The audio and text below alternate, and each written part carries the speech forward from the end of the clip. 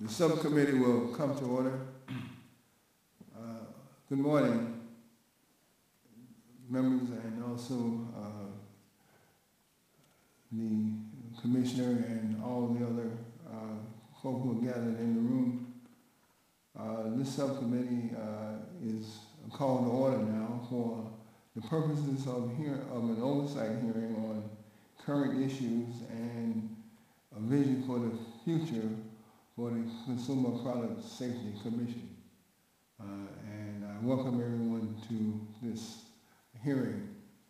Uh, the chair now, without any uh, other delays, the chair recognizes himself for five minutes for the purposes of an opening statement.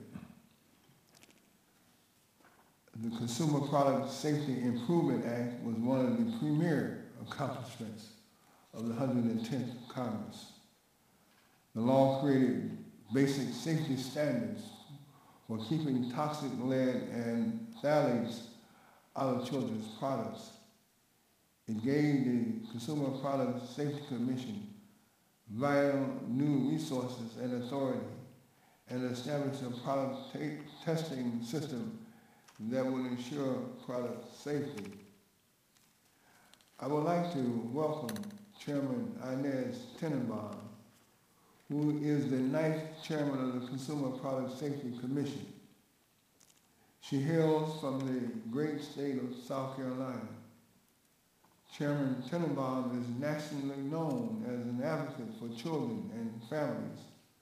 She served with distinction as the state of South Carolina's superintendent of education for two terms. I'm looking forward uh, to hear, uh, to seeing uh, and hearing from Chairman Tenenbaum as she steers the process of implementing the CPSIA.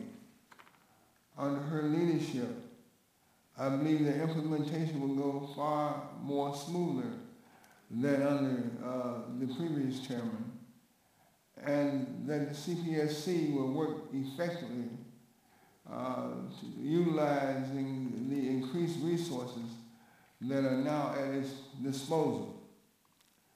This is why I'm so pleased to welcome Chairman Tenenbaum today and to hear from her about the Commission's new direction and its future vision.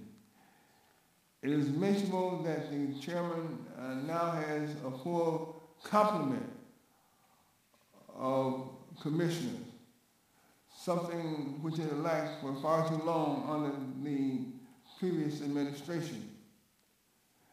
I think that the president has chosen well in nominating Robert S. Adler and Anne Northrup as commissioners.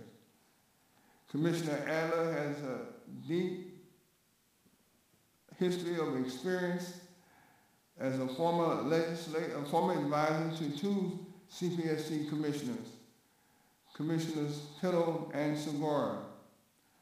And Commissioner Northrup is a former congresswoman from Kentucky's 3rd District and a mother of six who served for nine years in the House of Representatives. As a congresswoman, Commissioner Northrup founded the House Reading Caucus and co-chaired the Congressional Coalition on Adoption, which further showed her own personal commitment to helping and defending children.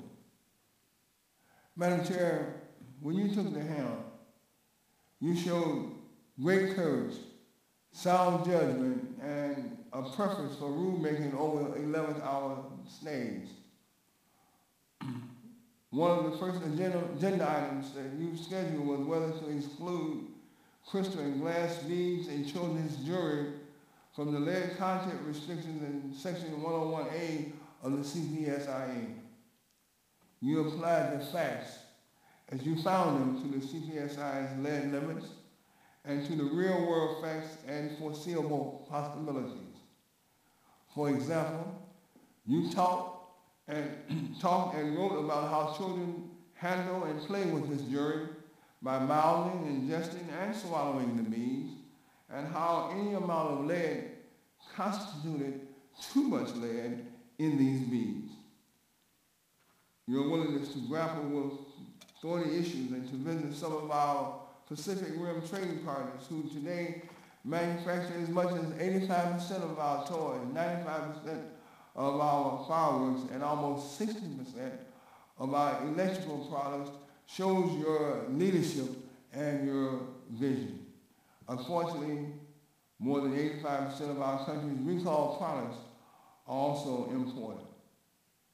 Chairman Tenenbaum, I would ask you questions this morning based on remarks you made in your public statements on some substantive areas that pose special safety and recall challenges and how you will go about implementing the CPSIA. I'm also very interested in hearing how you see the CPIA transitioning from the Nord era to Tenenbaum time uh, with a shiny new product safety, uh, product testing facility with more employees and more appropriated dollars. And as I close, I want you to comment as extensively as you can about the CPSC's timelines for adopting new rules under CPSIA, about some of the things that the GIO, uh, G, I'm sorry, GAO advised us, um, and other improvements that you uh, will make at the agency. I look forward to hearing your testimony, and I thank you again for visiting with us today. And uh, the chair now recognizes the ranking member, Mr. Radanovich, for five minutes. I thank you, uh, Chairman Rush, for calling this important hearing today. The CPSC is a small but important agency whose mission is implementing and enforcing our nation's federal consumer protection safety laws. The Commission and its staff work hard to ensure consumer products are safer when they reach the homes of our constituents. We all remember the increase in Commission-mandated recalls in 2007. Weekly headlines detailed various toy dangers, most of which were due to manufacturers' fa failure to comply with existing standards, for instance, lead paint. To their credit, Commission staff was, was able to effect more recalls in 2007 than in any other year in the CPSC history. Despite the Commission's diligence, some observers claimed the increase in recalls was evidence that reform was necessary and spurred the enactment of the Consumer Product Safety Improvement Act, also known as CPSIA. CPSIA instituted the most sweeping changes to the Commission's regulatory environment since it was created. Among the changes, the law imposes many new requirements on businesses in the name of providing greater assurances that consumer products reaching our ports and placed on our store shelves are safer. While no one disagrees with, the, with creating safer, pro, safer products, and, it, and it's good for public policy, we don't all agree on how to get there. The law has had consequences detrimental to many hardworking Americans. Put simply, the law is not working the way that many of us thought that it should work. In April, hundreds of business owners that want to abide by the law came to Washington and voiced their concerns. The new law is crippling many honest businesses, particularly small businesses, with burdensome and costly testing requirements for children's products, many of which the evidence shows are completely safe. Despite the Commission's stay of enforcement for testing, many manufacturers are still being required to prove that their products are CPSIA compliant. As a result, testing for perfectly safe products is costing businesses millions of dollars. Inventory losses for safe but technically non-compliant products is estimated in the billions, and there is no discernible improvement in child safety. Many small and uh, home-based businesses are already hurting from the economic recession. On top of the de decrease in consumer spending, manufacturers and re retailers are now faced with the new cost of complying with the CPSIA, and if, if they can comply at all. Many of these same small and medium-sized businesses will also suffer punitive effects of the cap-and-trade legislation passed by the House and the health care legislation this committee reported out last month. We committed nearly a trillion dollars in stimulus spending for various industries, bailed out the auto industry, bailed out financial firms, bailed out homeowners, and helped purchase new cars for some consumers. But where's the relief for small businesses whom we now burden with this regulation? these small businesses are beginning to think that Congress is waging war against them.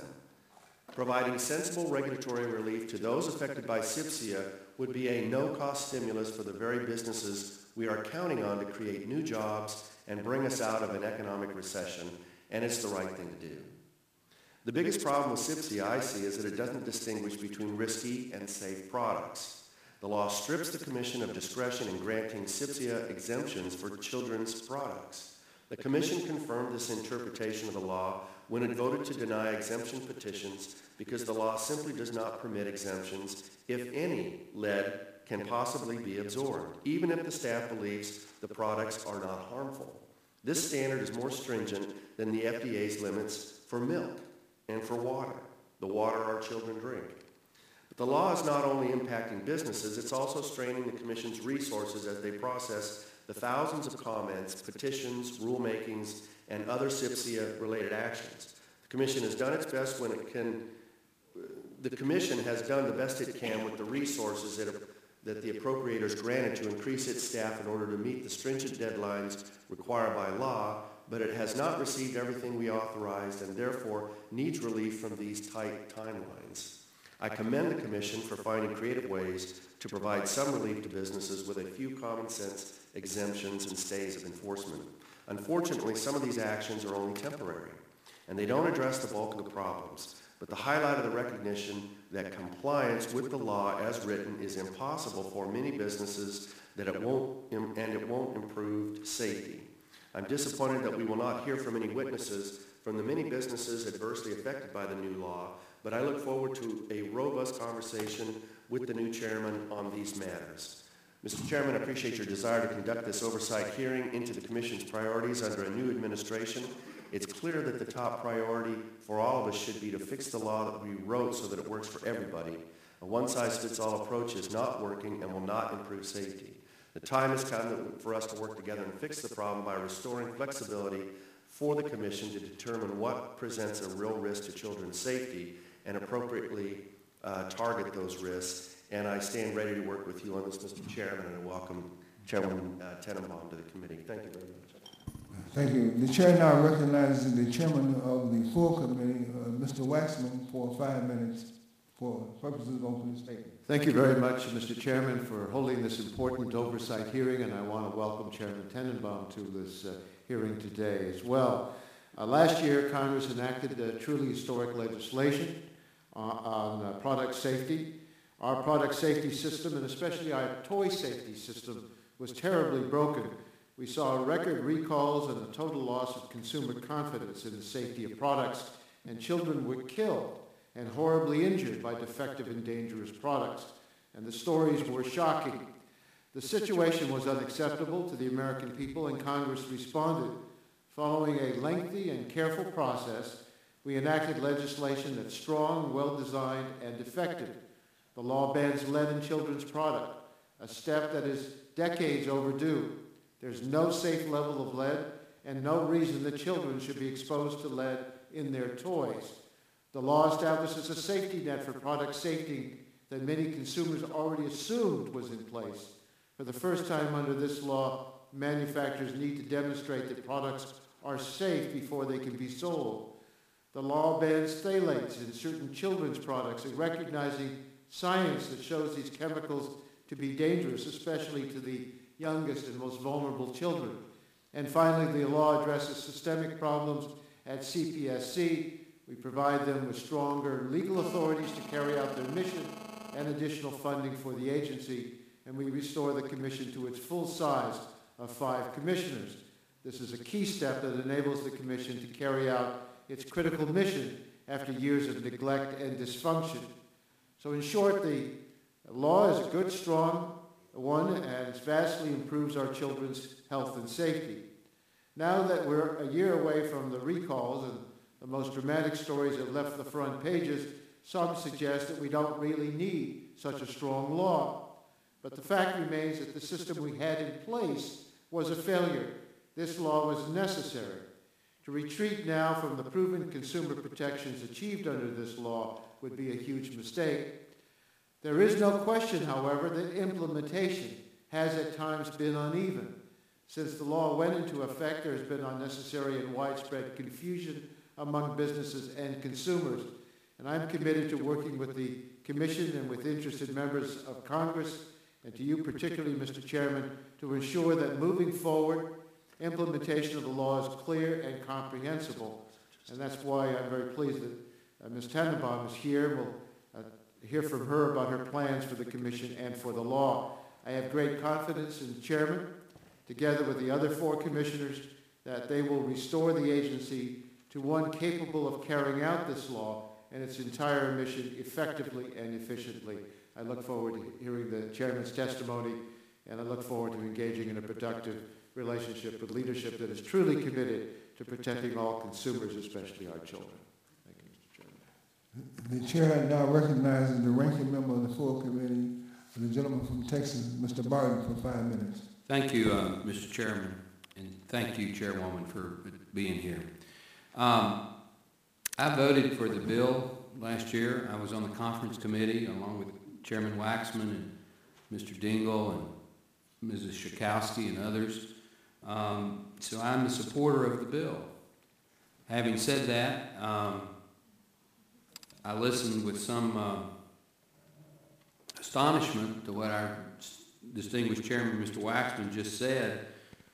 Uh, I interpret what he said to mean that it's just a problem of implementation. It's not a problem of implementation. As you have said, Madam Chairwoman, the law doesn't give you the flexibility to do some of the things that uh, you have been encouraged to do to implement the law. We need to change the law. We need to perfect it. We need to modify it. We need to, uh, to give some flexibility and some discretion to your agency to implement this law. Uh, myself and Mr. Radanovich and others uh, have repeatedly asked Chairman Waxman uh, to, uh, to hold a, a markup of, or to work with us on a bipartisan basis to come up with a, uh, a bill to fine-tune the law that we passed last year. Um, we, start, we started making those requests informally in January. Today is, is a hearing, which is a good step, but that's all this is, is a hearing. Uh, we need to do more, in my opinion, than hold a hearing. I've got right here, I'd say that's uh, 200 letters, maybe 150 of uh, small businesses around this country that have written uh, to myself and to the chairman and other members of the committee uh, to do something to, uh, to fine-tune the law. Uh, Mr. Radanovich is going to ask unanimous consent at some point in time to put those letters in the, in the hearing record. We have products before us. Uh, the, uh, the, the dress that's in front of uh, Mr. Radanovich uh, can't be tested because if you test it, it destroys it. These products are going to be pulled off the shelves because the cost of the test is more than the, the value of the products that are sold. Um, there should be some common sense implementation, some common sense refining. We're not trying to change the lead standard. We're not trying to, uh, to backpedal on, on the intent of the law. But uh, when you can't sell an all-terrain vehicle because of concern that a child is going to ingest a tailpipe or something like that, uh, there needs to be some discretion given to the, uh, to the regulatory agency to use a common sense approach to uh, implementing the regulations. So, Mr. Chairman, I'm, I'm glad that you're holding this hearing. I'm going to submit my formal statement for the record. Um, I hope it doesn't, I know you're a White Sox fan uh, and not a Cubs fan, but I hope it doesn't take the Cubs winning a pennant before we decide to act to change this bill. Uh, Now, and- wait a minute. I'm a Cubs fan. yeah, we, you, you know, we need, eh, the good news is that what needs to be done is not that difficult, and that it can be done on a bipartisan basis, and it can be moved out of committee, and it can be moved through the House and the other body and the President sign in the next two to three months. I mean, this is not a huge mountain that we're trying to overcome, and there's not, if we get past the insistence that it's a perfect bill, and, and, and it's like the Ten Commandments, you can't change a, a, a, a a letter in the, any of the Ten Commandments, uh, we can get this done. And I hope that's what this hearing is about, is finding a way to get it done. With that, Mr. Chairman, I yield back. The chair want to thank the uh, ranking member, want to assure the ranking member that uh, we will get something done before the Aggies win the BCS. Well, that's, that's it for that, Mr. Chairman. The chair now recognizes the uh, chairman emeritus of the full committee, my friend from Michigan, Mr. Dingell, for five minutes. Mr. Chairman, I commend you for holding today's hearing. It is an important one. I would like to extend my warm regards and welcome to Chairman Tenenbaum. I'd like to thank her for appearing before us today to discuss issues facing her agency and her vision of the agency's future. I want to make it very clear, Mr. Chairman, this hearing is needed. It is oversight in the way that it should be conducted. And again, I commend you for it. A long time ago, a dear friend of mine by the name of John Moss, then a member of this committee, and I, in this room, held a series of hearings which led to the enactment of legislation creating consumer product safety, of which he and I and other members were co-sponsors. Last year, my dear friend, the ranking Republican member of this committee and I got together with other members of this committee, including you, Mr. Chairman, all in a sense of concern about the fact that Consumer Product Safety Commission was not able to do its job because budget cuts, personnel cuts, demoralization, the inadequacy of resources and personnel to do its job. And from that came the successor act to the original Consumer Product Safety Act, which was passed in 72, and which returned it somewhat, and the commission somewhat, to the state that it had had at the time that we offered the first legislation. Now, I want to make it very clear, as the original author, or the remaining original author of the Consumer Product Safety Act, and the author of last year's legislation, I feel very strongly about the needs for strong protection for the nation's consumers. And I feel very keenly that the Consumer Product Safety Commission has not been able to do its job because of a deregulatory attitude and a skimpy attitude with regard to funding of the nation's regulatory agencies. And so, with my colleagues on this committee, I wholeheartedly supported a restoration of a good regulatory framework to ensure the safety of consumer products distributed in commerce in the United States, particularly those meant for use by children. And that was a feeling which I shared with my colleagues on this committee.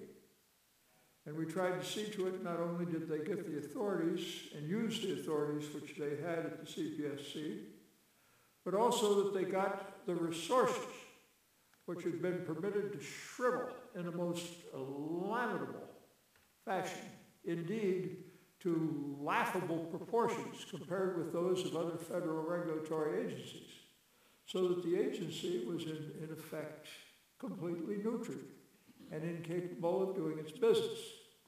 Well, we thought we had corrected that. And I would note that until recently, CPSC might well have been described as a moribund agency, hampered by inadequate funding and all too limited statutory mandates. For these reasons, we did what we did in terms of the Consumer Product Safety Improvement Act, CPSIA, which I have alluded to earlier which was ultimately signed into law by President Bush last August. CPSIA is meant to bolster the agency and to enhance its authorities in order to improve CPSC's ability to carry out its fundamental purpose. Again, the protection of consumer health and safety. It should be noted, though, that a funny thing happened on the way to the forum. Our dear colleagues on the other end of the building called the United States Senate got into the act. And with profound ignorance of the way the law worked or the intention of this committee and the authors of the legislation, proceeded to do extensive redrafting and have created difficulties which we were unable to cure in the conference between the House and the Senate. We had abundant outside assistance which confused the issues further from consumer representatives and enthusiasts who did not know how government works or how government should work. And we had considerable messing around from both the Senate and from this body, which has created confusions which remain today. Now, I remain concerned about the difficulties that have been encountered in the implementation of the CPSIA as improved by the United States Senate. I would remind all present that that legislation passed this committee unanimously in a bipartisan fashion. And again, I commend my friend, the ranking minority member, for his leadership in this matter, and his cooperation and assistance. And it passed the House unanimously. And then it came back from the Senate, and all of a sudden we had a lot of negative votes because people were honestly concerned about the confusion that had been inflicted by the United States Senate through its own amendment process and through the process which we saw take place in the conference. In any event, there appear now to be problems, and I'm hopeful, Mr. Chairman, that we will be able through this process to ferret them out and to correct them, and indeed to find out what they might be and how they're impacting upon the American people, upon consumers, and upon businesses. In January, on the 30th, uh, in a letter to the committee, former CPSC Chairman Nord wrote, the timelines in the law are proving to be unrealistic, which in fact they are. And then in brackets, CPSC will not be able to continue at this pace without real risk of promulgating regulations that have not been thoroughly considered. Moreover, Chairman Nord stated, although CPSC staff has been directed to move as quickly as possible to complete its work, short-circuiting the rulemaking process gives short shrift to the analytical discipline contemplated by the statute. In brief, Mr. Chairman and Madam Chairman, I intend to use my time today to discuss with you whether you share this view and more specifically whether you believe that CPSIA it, contains realistic deadlines for rulemakings and compliance as well as too little implementation discretion to CPSC. That these problems have triggered a number of meetings between members of the House and Senate in which it was discussed that perhaps maybe the House and the Senate should pressure CPSC to come to conclusions which may or may not be supported by the law. And I wish to state with great clarity that it is not my intention to undo anything that has been achieved via, CPSIA, but rather to discover what action by this committee as a part of its oversight may be necessary to correct any shortcomings that have been inflicted on the law and on the people of the United States by the actions of our dear friends in the Senate who have confused in a splendid fashion an otherwise excellent statute. I want to thank you, Mr. Chairman, and thank you, Madam Chairman, for coming before the committee today. And I look forward to a frank and productive discussion about the matters currently confronting the CPSC, as well as the future of the agency, in the hope that perhaps our current efforts may achieve, without the assistance of our dear friends and colleagues in the Senate, the kind of confusion that has been inflicted upon your agency in the time since we passed CPSIA. I thank you, Mr. Chairman. The chair thanks uh, the uh, chairman emeritus, Now the chair recognizes the gentleman from Kentucky for two minutes for the purposes of opening statements. Thank you, Chairman, for uh, having this hearing today. I also was a conferee on this legislation that met with the Senate uh, to adopt this uh, legislation, and it passed overwhelmingly in the House and, and also in this committee, as Chairman, former Chairman Dingell said. I think we also have a responsibility to protect our children, and this legislation does precisely that, but it also has had unintended consequences. And uh, m- many members have already discussed that today. The timelines are in question.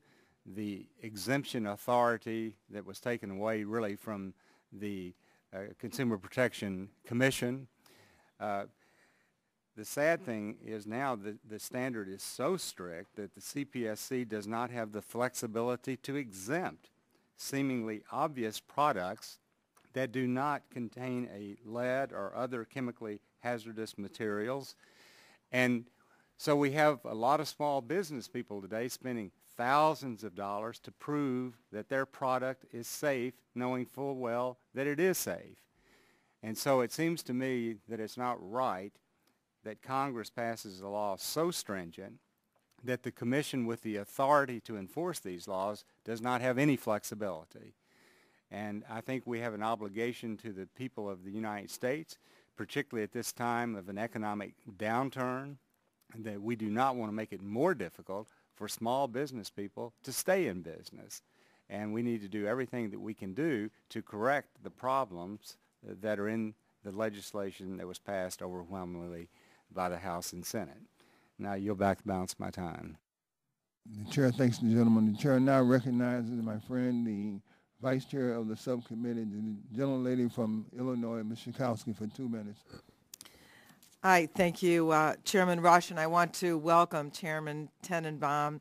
Uh, we had the pleasure of meeting each other recently. I appreciate very much your reaching out to uh, to me and uh, hearing about your commitment to make the Consumer Product Safety Commission an agency that will truly live up to its uh, its name.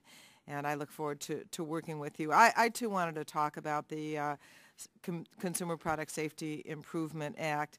Um, there were many, many important provisions in the bill, which I think everybody would, would agree to. Um, some that I um, worked on, including mandatory infant and toddler durable product standards and testing and the Danny Keysar Child Product Safety Notification Act and the first mandatory safety standards for children's toys are going to help grandmothers like me feel confident when I buy supplies or gifts for my grandkids that those things are going to be safe. And I know that there have been implementation uh, problems with implementation of the, the new law, particularly under the previous leadership at the CPSC. Um, I personally think that the, uh, the, the law can be successfully implemented. I just wanted to point out some flexibility that I do see in the in the law. The the law includes language that empowers the CPSC to exempt certain materials from the testing and certification requirements and to relieve those manufacturers of products that are in no danger of violating the new standards. And I know that the CPS has begun to apply some of those exclusions. And, and so I think there are opportunities within the existing bill to deal with complications. For, for example, I know that the CPSC has exempted from the lead testing requirements components that can't be accessed by a child, components of electronics devices inside uh, uh, intended for, for children, a stay of enforcement of lead and phthalates testing rules for, for a year. So uh, a number of things ha- have been done. Um, and I think we should first, before we change the law, look at those and see if they can provide the kind of relief to um, issues that have been raised today. Uh, thank you, Mr. Chairman, and I yield back.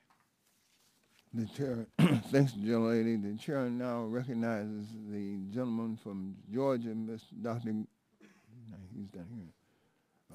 Uh, the chair recognizes now the who's next? The gentleman from Louisiana, Mr. Scalise, for two minutes for the purpose of the opening statement.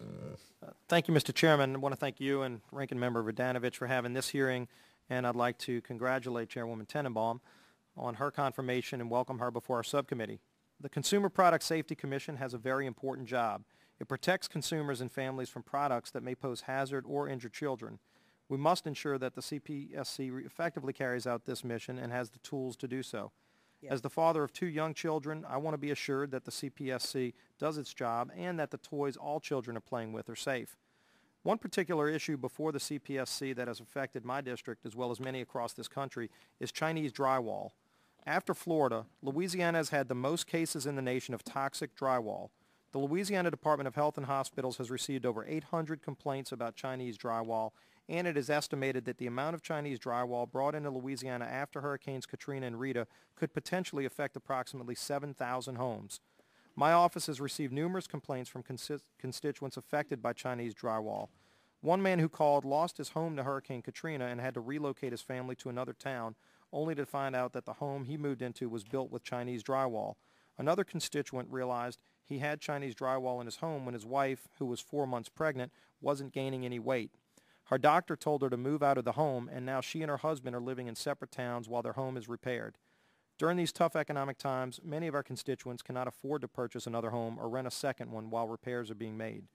It is clear that Chinese drywall is wreaking havoc in homes, charring electrical wires, corroding metal, and causing serious health problems. We must determine the origin and scope of the toxic drywall, and we must take action against those who introduce the drywall into American markets. It is also important that we continue testing in order to realize the potential health problems that Chinese drywall can cause. Chairwoman Tenenbaum, in your testimony, you mentioned that the CPSC is committed to finding answers and solutions for all the homeowners impacted by this issue. I want to know what those answers are and solutions you have found. The citizens of Louisiana and elsewhere in the country who have been impacted by Chinese drywall deserve clear answers and solutions. Those affected in my state have already been through so much, and now four years after Katrina, many once again have to rebuild their homes. This is unacceptable, and we must ensure that no one has to encounter these problems in the future. I look forward to your testimony, and I yield back. The chair uh, recognizes now the gentleman from Texas. The gentleman, uh, the gentlelady from Florida, Ms. Castor, for uh, two minutes for the purposes of opening statements.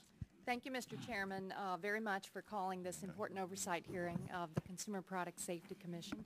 Uh, Welcome to Chairman Tenenbaum. Uh, I'm pleased that we have this opportunity to discuss the Consumer Product uh, Safety Improvement Act with you. You have outstanding experience and um, your background as a teacher and the state school superintendent for the, for the state of South Carolina uh, demonstrates uh, your commitment to families and consumer issues, and you're off to a great start. Um, and in many ways, this is going to be, uh, this hearing is going to be very different than if we had uh, proceeded with the one scheduled a few months ago.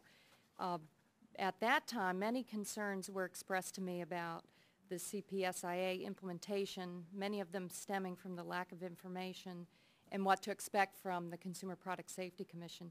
Rumors were flying that uh, children's bookstores would be forced to close or thrift stores would not be able to sell toys at all. But under your leadership, in the last few months, many of these concerns have been addressed, and I thank you for that. Uh, I appreciate that the assignment that was given to the Consumer Product Safety Commission was not an easy one. The new Consumer Product Safety Improvement Act was a fundamental shift from a reactive product safety regime to a proactive approach. Uh, before, parents just had to hope that toys they were buying for their kids were safe and watch for product recalls. And all too often, the prevailing consumer product, the consumer safety policy with regard to toys was caveat emptor. This resulted in a disastrous 2007 uh, Christmas shopping season when popular toy trains uh, had friendly, inviting faces painted on them with Chinese lead paint. And one popular toy called Aquadots allowed children to arrange brightly colored beads into designs and then bind them together with water. Unfortunately, the beads gave off the so-called uh, uh, the drug GHB when swallowed. So Congress gave the CPSC a big responsibility last year, and there have been some bumps in the road. Uh, for too long, there's been a lack of guidance from the agency for retailers and manufacturers, and some of the deadlines for guidance came and went without the required guidance. but I'm extremely encouraged by the actions taken by the Commission in recent months. Uh, the quality and, qu- and quantity of the proposed rules that have come out uh, just since your swearing in is truly encouraging. Um, and like my colleague from Louisiana, I do hope you will address an important Florida issue, uh, important to, to many other states, and that's the Chinese, unsafe Chinese drywall that's used, has been used in construction of homes. It's making many families in Florida sick. Uh, families should not have to worry that the building materials in their walls emit corrosive, toxic gases into their homes. So I look, uh, look forward to hearing more from you about what the commission is doing about toxic drywall and what we can do to help on that issue. Uh, thank you for being here. I yield back my time, Mr. Chairman. The chair uh, recognizes uh, the gentleman from Pennsylvania, Mr. Pitts, for two minutes. Thank you, Mr. Chairman. Thank you for holding this important hearing on the issues and the future of the Consumer Product Safety Commission. I think we all agree that protecting consumers, especially children, from unsafe products is a worthy goal of government regulation. In 2008, the House of Representatives passed the Consumer Pro- Product Safety Improvement Act with the goal of improving the safety of products that children and parents use every day. However, the implementation of this law has given many cause for concern.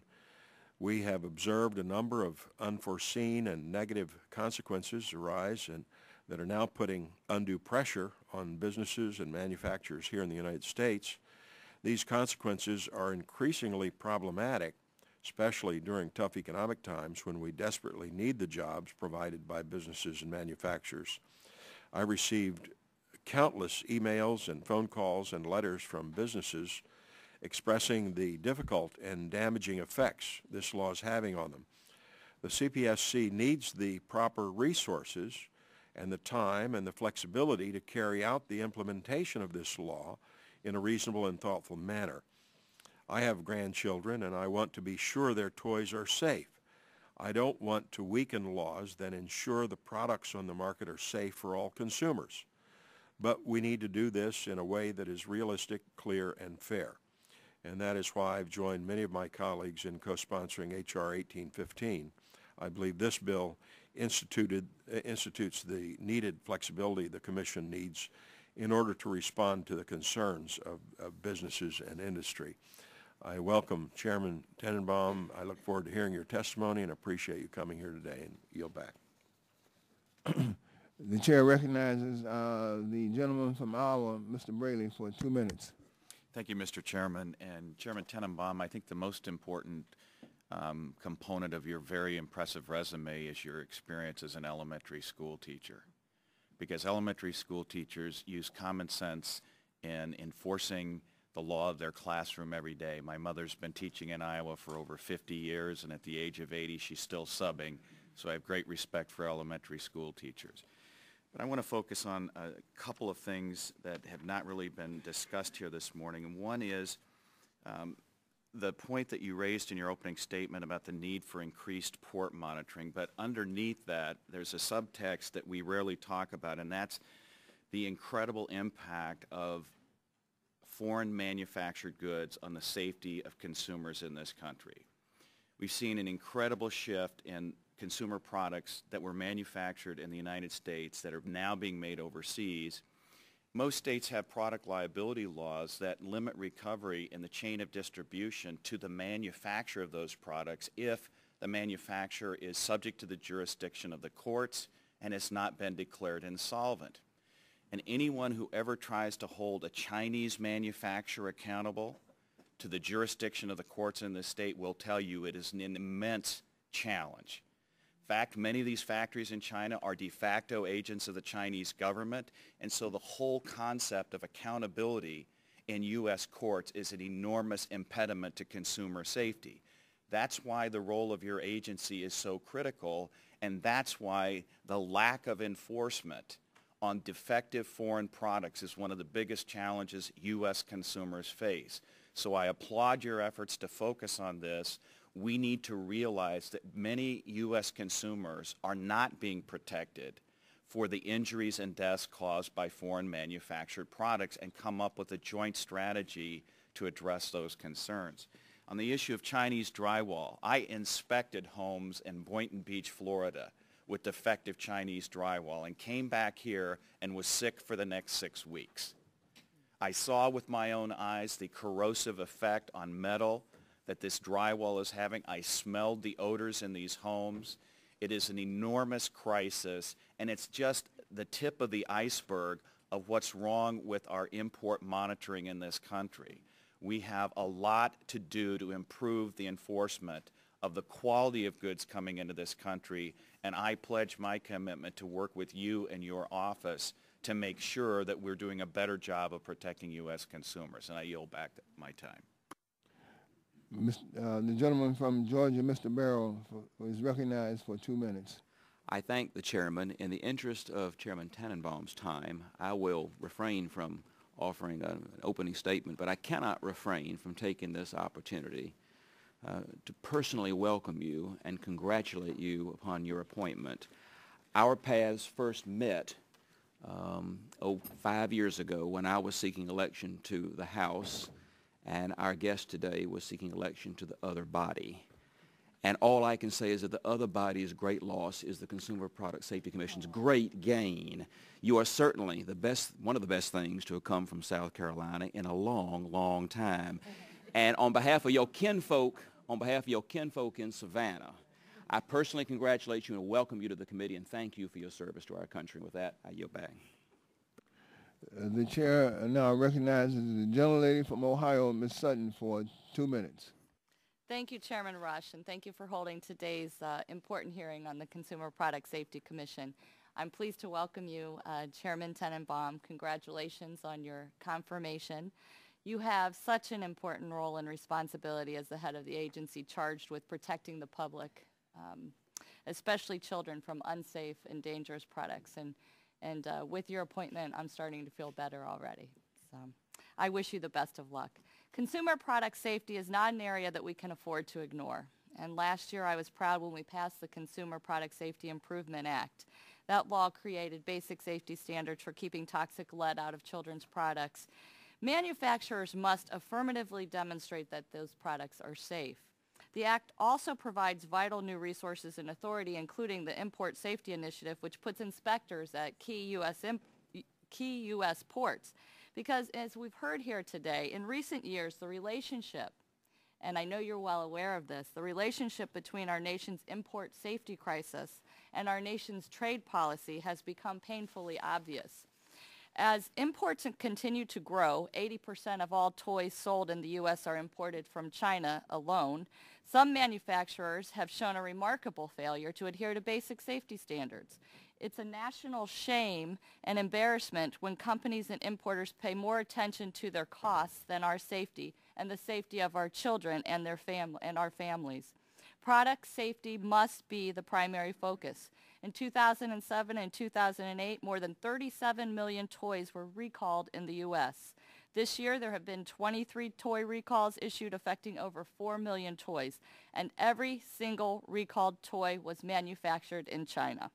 We have also seen reports of serious health problems in residents of homes containing imported Chinese drywall, and in response, I'm pleased that the CPSC uh, established a drywall task force working with other agencies to investigate the hazards of imported drywall. And I'm very interested to see the results of the task force studies and see what we can do to ensure that uh, things being imported into this country are safe for consumers in the United States. Yield back.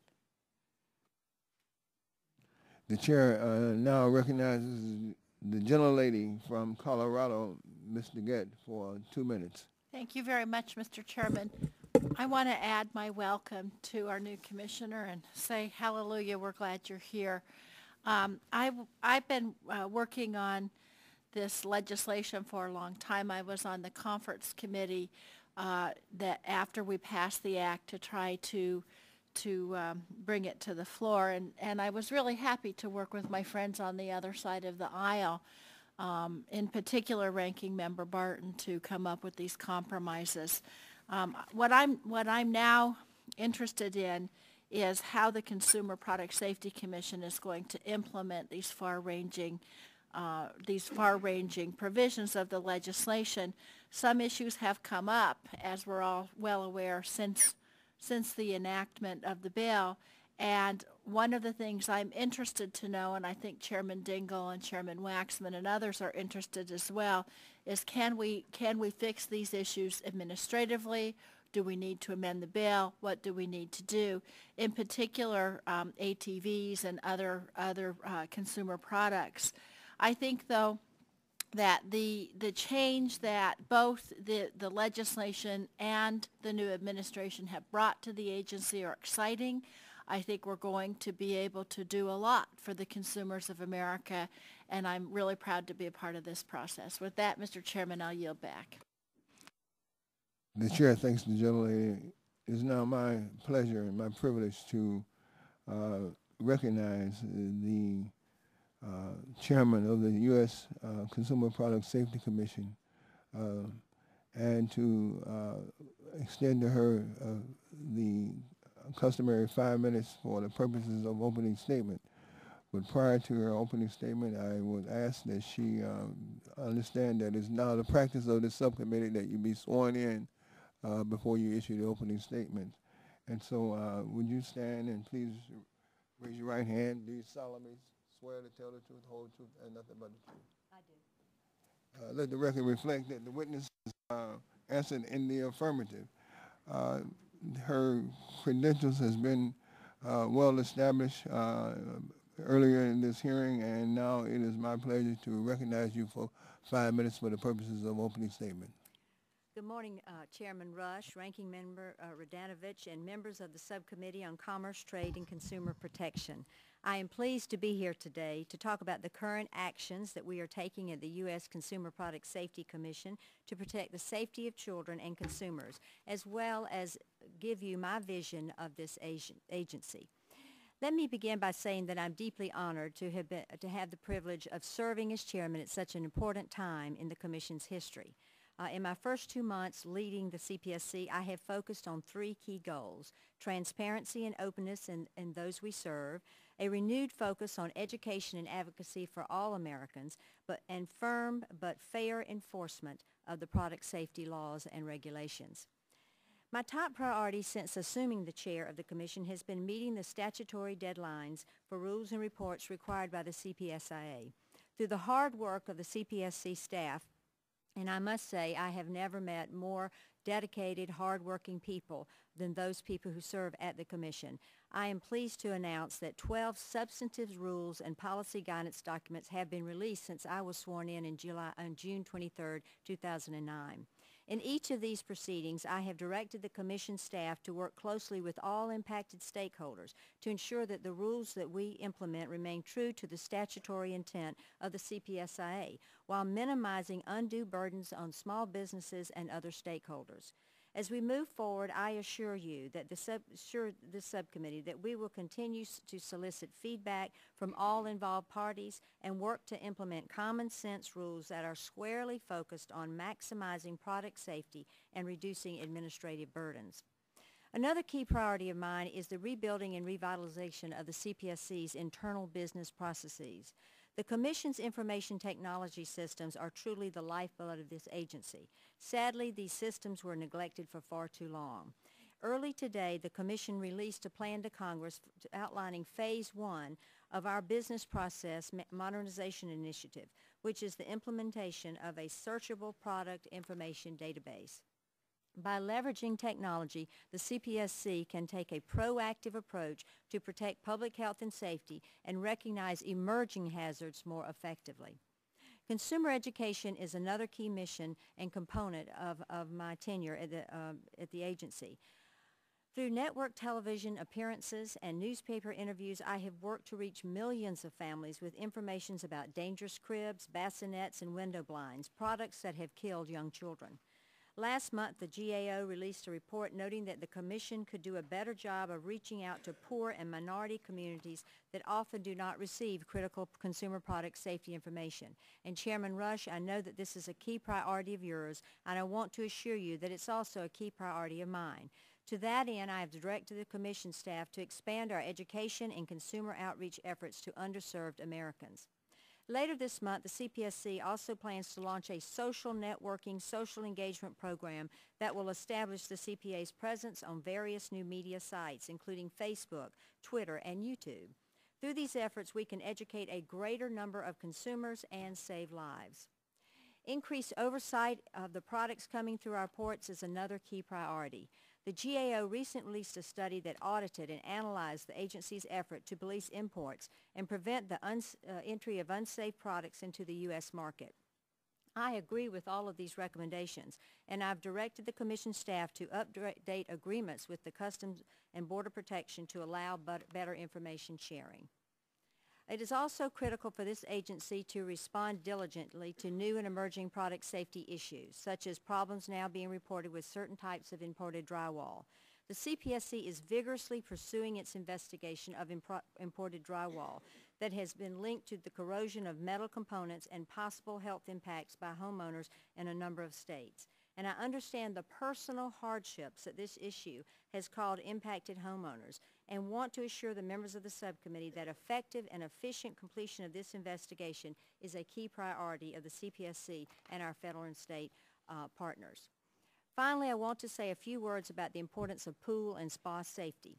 Ensuring the compliance with Virginia Graham Baker Pool and Spa Safety Act is a critical priority of mine. I'm happy to share good news with the Congress today about what we found in the last few months. We have uh, sent our field investigators out to inspect over 1,200 pools and spas in 38 states as a part of a recently launched enforcement initiative. And we have found that 80 to 90 percent of the pools and spas inspected were found to be compliant. This is very good news and means that the children will be safer when they go sw- swimming. We're also working with the state's attorneys general to find out why the other 10% are not in compliance. Chairman Rush and Ranking Member Radanovich, thank you for again for allowing me the opportunity to update the subcommittee on my vision for the future of the Consumer Product Safety Commission. I believe that CPSC stands for safety, especially the safety of children. So with your support, I intend to continue the transformation of this agency from what some have described as a teething tiger into the world's leading lion in consumer protection. Thank you. The I chair. look forward to answering your questions. The chair thanks the, uh, the chairman. Uh, Before we engage in uh, the questions from the- the members of the subcommittee, the chair requests unanimous consent that uh, five, uh, le- that letters from five consumer groups uh, and uh, a letter from a that was sent to me through the offices of Common, Congressman Sh- Schauer of Michigan, that these letters uh, be entered into the record, and without any objections, you hearing no objections, uh, so ordered. Uh, you want to request at this time? Yeah, I, I would. Thank you, Mr. Chairman. I've got a couple of unanimous consent requests, uh, statements on, on behalf of uh, Congressman Gingrey and Burgess, and also letters from uh, constituents, over a hundred here, of, of constituent companies, small businesses that are impacted by uh, the effects of the of this of CPSIA of this legislation. I'd ask that all three of these items be uh, uh, accepted into the record. Hearing no objections, so ordered. Uh, the chair recognizes himself for uh, five minutes for the purposes of questioning the witness. Uh, Madam Chairman, uh, last year the CPSC requested uh, $80 million for FY 209 as part of its performance budget uh, statement to the Congress. and that request was to have funded 444 full-time employees, which was which is an increase an increase of 24 over the uh, full-time employee staffing level for 08. Uh, and my question is, how many of these additional employees uh, have been hired by the agency? Uh, do you see that these additional uh, employees uh, and any of those funds still going to going to CPSC's enhancements in import safety and product te- testing capabilities? What proportion of the uh, FTEs uh, and of your budget would go to each category? And what other roles do you anticipate that these uh, FTEs uh, will play uh, under your administration? Thank you, Mr. uh, Chairman. Um, the CPSC has a staffing level of 530 uh, FTEs. We are currently uh, at 458 employees uh, at the agency. Uh, we have 18 pending hires that have accepted offers for employment, and we are um, have 36 full-time employees that we have hired since January 2009. We have 29 vacancies uh, where interviews are currently underway, and 27 position, uh, other positions are in the stages of the recruitment process. We hope by uh, October to reach the ceiling of 530 employees so that we will be fully staffed. And uh, we will be putting additional staff uh, in port security and surveillance as well as uh, compliance and throughout the agency for, uh, to see that we uh, implement the CPSA, IA, and other statutes. I can give you the breakdown for every uh, division and how many will be um, uh, added to those divisions. I can send it over, but I did not bring it with me today. Uh, would you please uh, we are- supply, We that to the We will get that to you, but Mm. we are hoping that by October, we will meet the um, ceiling of 530, which is the maximum Mhm. FTEs that we are, are supposed to have. Uh, can you, uh, the GAO's report on improving safety for minority children and families uh, was, uh, as you indicated, was a major concern of mine. and I know uh, you, from your previous statements that you uh, have committed to reversing or to improving uh, the uh, the patterns of safety for uh, minority children and families. Can you expound a little bit more on some of your priorities in that particular area, please?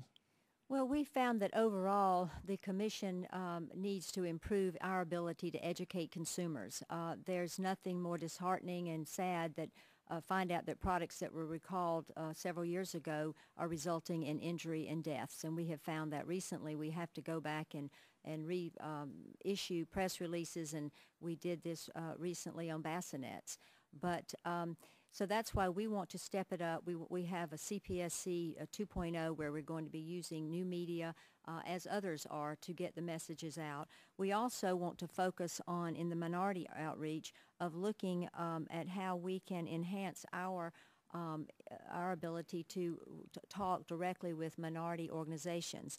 Uh, we welcome the recommendation of the GAO, and the two things that the GAO, GAO found that we agree with is that we need better data on consumer products and minorities, and our data system is not uh, picking up uh, minority um, information that we hoped, uh, we think we need to have. And the other thing is just the information efforts, not only to consumers as a whole, but targeting minorities. Uh, we believe that a child's economic background should not affect the risk of injuries. Now, we will be leading a minority outreach day to increase awareness, in product safeties in targeted markets, uh, that, which will be a media event and um, working with organizations. And then we also work with the neighborhood safety uh, network members. And these are uh, several hundred organizations uh, where we can get information to them and they disseminate it to um, other minority um, organizations. Uh, we're going to report to you at the end of October on the GAO report. So we will address that in detail in our report to you in October. Uh, My time has expired. I want to thank you for your uh, responses to my question. The chair recognizes Mr. um, Radanovich uh, for five minutes. Thank you, Mr. Chairman, and, and uh, welcome Chairman Tenenbaum to the committee, and, and uh, I enjoyed uh, our getting a chance to know each other and, and uh, appreciate your outreach and, and welcome you to the uh, commission. I want to uh, just highlight a couple, we've got a couple of items in the, uh, in the, in the, in the committee room here that kind of highlight some of the problems that CPSIA seems to have with small business. And, and uh, there's a couple of products over there that cost $65, a microscope of, for $60, and, and testing for those uh, products for the microscope is $3,678 for one, 24, that was for one of 24 samples that were submitted. And the other one was $5,973. But I think the item that represents problems with uh, small business the most is this Native American uh, ceremonial costume that uh, was created in the Southwest somewhere. We, recently, my family and I came across the country, California to Washington, D.C. on a cross-country trip this August, and there were a lot of vendors at the reservations and such that were um, um, making a living by selling similar costumes like this. Many of these have beads or special designs that, that are, make them, each one of them individual. None of them are made the same. And uh, this poses a real problem because under CPSIA, this would have to be, one, one, one costume at a time would have to be tested and you'd be destroying the costume at the time that it needs that it's testing. So it's a, it's a really a small batch run product problem with CPSIA, and uh, and I think this item highlights the problem the most. Now, products like this were, um, um, especially with crystal beads and such, that that uh, the, the folks had a problem with, and they submitted a request to exclude crystal and glass beads from the lead provisions in CPSIA and, and, and, and it was denied. And I, I want to read, uh, if I can, uh, your comment on the denial of the request. It said, in making a determination, I was mindful that the statute does not use the term harmful amount, which would allow staff to utilize a risk-based approach. Thus, while commission staff recognize that most crystal and glass beads do not appear to pose a serious serious health risk to children, the request for the exclusion must be denied. So I, I guess my, I have a couple of questions um, that kind of revolve around this problem of small batch testing and the, uh, the uh, crystal and glass bead exclusion from the lead uh, provisions. Do you think the Commission has the flexibility to exempt safe products that don't meet the exemption, exemption standard or is it virtually impossible under the standard of any lead absorption for most products and materials? I appreciate um, your your question, uh, Ranking Member Radanovich, because uh, I think there's been some interpretation of my comments that uh, have muddied the waters around this issue. So I appreciate the, the uh, opportunity to comment. Uh, you did read a, the section of my comments that uh, have people wondering, uh, uh were the uh, crystals, uh, did they pose no hazard at all to children? And, and I met with the staff yesterday to make sure that I understand, mm-hmm. and it was really, I guess, poorly worded, that, fr- that part of my statement. And what the staff meant when uh, they, uh, and I was taking it from their uh, memorandum, was that under the Federal Hazardous Substance Act, which was the old act, the act that we um, that we enforced and continued to, but before it was uh, amended by the CPSIA, the uh, CPSC had to determine whether a product can contain lead uh, and it resulted in substantial Il- illness or injury. So before you could uh, regulate the lead content, you had to prove that there was substantial illness or injury. When you passed the CPSIA, we were not required to prove that standard. In fact, Congress struggled over where to set the lead limits, and you determined that there was no safe level of lead uh, based on testimony and, uh, uh, you know, Congress did. Uh, Which did not allow you to do any risk-based assessment well, of any of the products. Well, going right? back to yeah. the lead crystals, uh, Congress has set the threshold uh, after October, I mean, August the 14th of this year to be 300 parts per 1000000 mm-hmm. These lead crystal beads were 900 parts per million up to 23,000 parts per million per bead.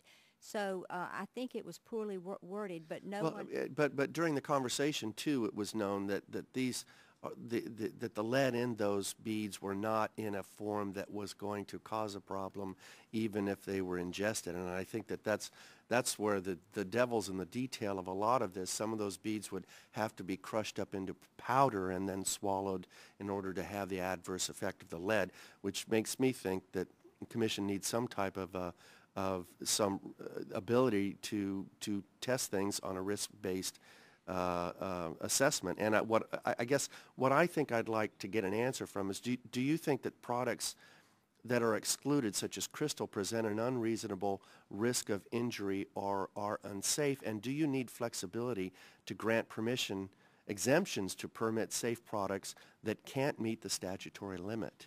Well, in the lead, uh, we showed that there was some leaching, but it did not rise to the level with one bead to oppose, uh, to be listed under the Federal Hazardous uh, Substance Act. But then that But doesn't give you, but you don't have any uh, flexibility But to what if the child exempt that. swallowed 50 small beads? We could not determine whether or not uh, one, you know, one bead, it was uh, determined that we would not have put one bead on the Federal Hazardous Substance Act. But Well, what if a child swallowed multiple beads and it would have raised the blood lead le- level? If, and if, if, and if I may uh, get, get you to answer this one last question, though, do you need flexibility to grant ex- exemptions to permit safe products that can't meet this statutory limit? Well, it goes to the heart of the matter on what is a safe level for lead, and Congress struggled But, but do you it. feel you need that flexibility so that you can I feel like it'd safe be products? premature for me to answer that question at this time because these beads went all the way up to 23,000 parts per million. Well, well, let's just, in, in all products, do you need, in any case, do you feel that you need the flexibility to grant exemptions to safe, for safe products? I believe that we have to look at products on a case-by-case basis and with good science, wedded with a good statute, determine whether or not it's at risk for a, The the gentleman's a risk. uh, time. So I think it's Thank premature for me to say when Congress struggled with this very issue, it was the heart of the CPSA lead limits, and they, and Congress collectively decided and, and uh, overwhelmingly passed a statute that said we will have the, um, any lead, um, we will not allow a product that where E- any lead. Even of those products? The, that we the- deem the- safe? the chair has, has been very lenient with, with the gentleman. Thank you, Mr. Chair. Thank you. That's the heart of the matter, Right. really. And the chair now recognizes the uh, chairman emeritus for five minutes for questioning the witness.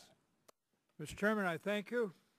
Uh, on March 4, 2009, I sent a letter to CPSC with 10 detailed questions concerning implementation of the Consumer Product Safety Improvement Act, CPSIA. I would uh, ask unanimous consent that that be inserted in the record at this time, Mr. Hearing no objections, so ordered. At the request, or rather at the instruction of former Chairman Nord, CPSC prepared responses to the questions which I ask be, ask unanimous consent be inserted uh, into the record at this point. Hearing no objections, so ordered. Those responses indicated support for amendment of the statute, quote, in order to allow CPSC to set risk-based priorities given the finite resources available to it, close quote. I would appreciate now your candid responses to the following questions in order to ascertain whether you support such course of action or how we should address the problems that the Commission has with the implementation of that statute. As my time is limited, Madam Chairman, I ask that you respond to these questions with a yes or no. I will note that I will submit these and other questions for the record in order to allow you to provide more detailed answer. First question.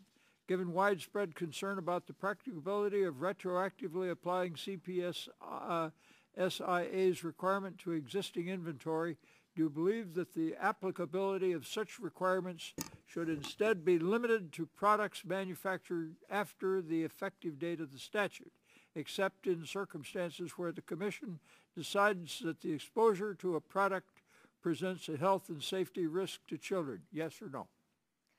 Well, I would have to say no. The, the federal court uh, decided that in the phthalate case that, uh, that we could not um, uh, exempt uh, products that were manufactured um, after the statute, before the statute was passed. Thank you, Madam Chairman. Next question. I'm concerned that the age limit for children's products de- defined in CPSIA unnecessarily subjects certain products such as bicycles or books or magazines to more rigorous standards than otherwise necessary. Do you believe the age limit used in the definition of children's products should be lowered to better reflect exposure? Yes or no? No, because you often have a home where multiple children are at all ages using the same product.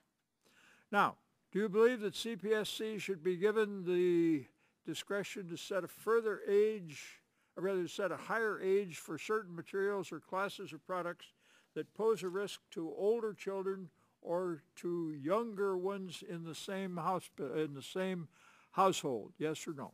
I think I answered that in number two, that we need to, um, Give me the same no answer, Madam Chairman? right, no. Thank you. I hope you understand this is not an attempt on my part to be discourteous, but I've got a lot to get in here, and I'm much concerned about the fact that time is running very fast. I'm also concerned that the blanket applicability to products of certification and tracking label requirements would be unduly cumbersome, both from the standpoint of CPSC and consumer product manufacturers. Should CPSC be allowed to address certification, tracking labels, and other issues on a product class or other logical basis using risk assessment methodologies to establish needs, priorities, and a phase-in schedule, yes or no? It depends on the individual product. We have to look at it product by product. Uh, I'm going to ask that you will have time to respond further to these questions, and I will be submitting additional questions to you as chairman of the commission. Do you believe the imp- implementation of CPSIA has overstretched CPSC staff and resources? Yes or no? It has, but they are hardworking, and um, our staff is working to midnight, many nights. Many work the Fourth of July. They're working weekends to work out to get these uh, rules uh, finished Madam so that Chairman, thank you. I've can got have it. a couple more questions here. Put differently, does CPSC have adequate resources with which to implement CPSIA as well as to carry out its other mandates? Yes. No, I'm sorry? no, we don't have adequate resources, but we're working hard to do the best we can. If not amount, if not, what amount of funding would you suggest be given to CPSC to allow it to perform its functions satisfactorily? Well, we are not, we've submitted our budget to OMB, and um, we cannot discuss it until uh, September the 14th, I understand, we- publicly. We do need the answer to that question if we're going to see to it that you can function. This committee has legislative jurisdiction over these matters, and OMB lacks that jurisdiction, and we Well, we can get it to you on September the Remember 14th. that difficult fact. So I'm requesting that you submit that to us for the record. Thank you. Madam Chairman, in conclusion, do you believe that the problems encountered in implementing CPSIA can be remedied solely via administrative action by CPSC, yes or no? I would say most of them can by administrative action. Most, so that means some cannot. There will be some uh, areas where we're, st- we still have not come up with a I- solution. We will, I will be asking further information so that you can identify that. Now, if not, do you support targeted amendments to CPSIA to address the concerns which have arisen during the Act's implementation? Yes or no? It's pre, too, it's premature for me to answer that. We are working with all of the industries that are affected and trying to untangle the knots that they have with their products. And, and we're making great progress in resolving many of these issues administratively. And those that we can't, we will know in a short time. So you're telling me that such uh, cut and bite amendments carefully targeted to CPSIA may be required? I said it's pre, too, it's premature for me to answer I that when may, I didn't say will be. may be required. Okay.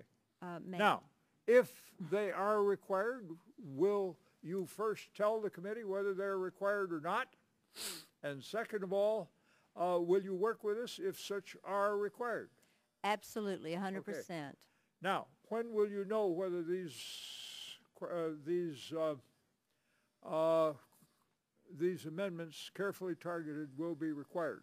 Well, there is one rule that we are working on, and once it, it's called the, uh, it, it contains the component part testing rule, that many of these um, issues dealing with uh, handcrafters and uh, other products will be, will find out that under the component part, they will not have to test.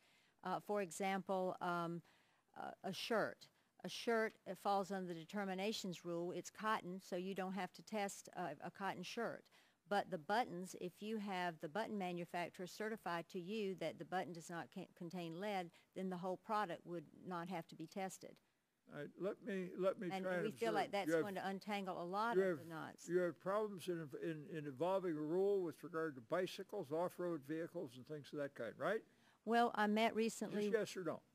um, we are, uh, if you'll let me explain, on the ATVs, we No, no, met my- with the I'm- industry My time is about gone, and the chairman is kindly permitting me to There are from yes or issues that we're working with administratively with both industries. Say it have- again? It has a stay right now on both the bikes and the ATVs, and we're working with them on how they can make the lead inaccessible in the parts that the rider comes in contact with, like the handlebars. You know, I looked at my bicycle, it has a rubber around it, so I don't come in contact with the So you got a problem that you can't solve very quickly, can you? Uh, yes, we can once the uh, inaccess, when, once we determine that they can make those parts inaccessible to Now, the you gotta rider. find, you gotta find problem on motorcycles. Uh, motorcycles has, has the issue of um, lead in the handlebars. There might be lead in the vinyl seat, And- but a and- motorcycle might not be a chil- children's product. And you've got a similar problem on all-terrain vehicles and snowmobiles and such. There are issues there in implementation, and we're working with the industry and met with Uh, them last week. And you've got a problem with regard to lead in publications, periodicals, books, children's and adults' books. Is that right? Well, uh, no, we don't. Uh, No, you this is don't? a book Why is it that the, why is it that the book publishers are calling, telling me so? at the time? because um, I, I- you know it'd be nice if uh, we could, and I want through um, offering to meet publicly with affected industries, which we are doing, holding public hearings, which I want to do. Uh, we are resolving many of these issues. The ordinary book, like this book, will contain no lead. It's pic- it's pictures. It's printed with a four uh, color process. This book complies, and the reason we have it covered is because uh, But you got books out there that do not comply, is that right? The only books that don't comply are uh, books that are, are published prior to 1985, which we don't consider a children's books. These are vintage books that uh, will um, be considered adult uh, vintage books, even if they're ch- uh, uh, for children. And those books, the only ones that don't Well, comply are those that have Madam Chairman, illustrations think using My time is color. Now, the other thing about the books, um, What I got, want you to d- understand is that this committee wants to see to it that you have a statute that you can properly administer without a lot of, without a lot of toe dancing and improper, and improper pressure being placed upon you to resolve questions in a way which are inconsistent with statute. Uh, Mr. Chairman, I will, uh, ask unanimous consent that I be permitted to submit a further letter and information to the record and responses by the chairman uh, to get to the bottom of these questions that I'm trying to answer. Hearing no objections, so ordered, uh, and the chair wants the, the chairman emeritus to know that, uh, you are in the thereabout of, uh, area of five minutes, so, uh, Well, uh, you have been excessively kind and courteous. well, My respect and thanks. well, that's because the chair has a deep-seated love for the chairman. The chair now, for the chairman uh, emeritus, the chair now, uh, recognizes the gentleman from Louisiana, Mr. Scalise, for two minutes. Thank you, Mr. Chairman. And, uh, uh, Madam Chair, on the question of Chinese drywall, uh, looking through your opening statements, uh, there are a few questions. One, you had cited that your office has received 1,192 incident reports on this issue. Do you know how many of those are from Louisiana? Well, most of the uh, drywall problems are from Florida, Louisiana, and uh, Virginia. And so a great number of those are from um, Louisiana. Um, and we uh, realize that this is a serious problem for your constituents. And of course, with all of the rebuilding that, that occurred after Hurricanes Katrina and Rita, uh, our offices all throughout our delegation continue to receive more uh, complaints and serious problems. And I know some of my other colleagues from other states have expressed uh, similar things they're experiencing in their state, uh, but just because I guess of the high number of homes that have been rebuilt and, and obviously some of this toxic Chinese drywall was used in many of these homes, we can sit, continue to receive higher numbers. Uh, have you talked to our state's Department of Health and Hospitals uh, to see if, I don't know if maybe some people might have reported incidents to them that didn't find their way to your office to make sure that the numbers and the, uh, the incidents that have been reported are, are accurately being delivered over to your office when the state, in the cases where the state knows about an incident?